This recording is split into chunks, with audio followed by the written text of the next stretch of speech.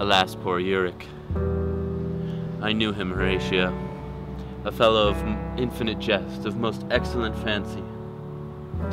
He hath borne me on his back a thousand times, and now, how abhorrent my imagination is. My gorge rises at it. Here hung these lips that I have kissed I know not how oft.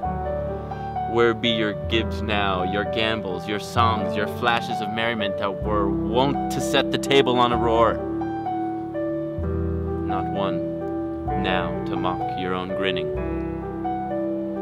Quite chopfallen. Now get you to my lady's chamber, and tell her let her paint an inch thick. To this favor she must come. Make her laugh at that, pray thee, Horatio. Tell me one thing. All the world's a stage, and all the men and women merely players. They have their exits and their entrances, and one man in his time plays many parts, his acts being seven ages.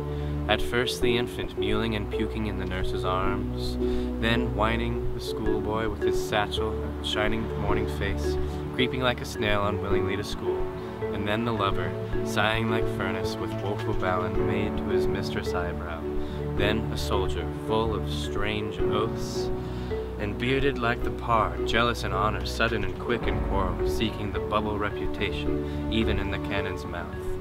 And then the justice, in fair round belly with good comp and lined, with eyes severed and beard formal cut, full of wise saws and modern instances, and so he plays his part. Out of this wood do not desire to go. Thou shalt remain here, where thou wilt or no.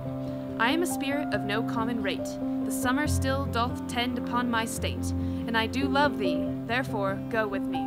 I'll give thee fairies to attend on thee, and they shall fetch thee jewels from the deep, and sing while thou on pressed flowers dost sleep.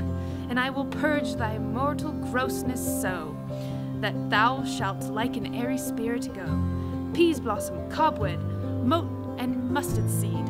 Be kind and courteous to this gentleman. Hop in his walks and gambol in his eyes.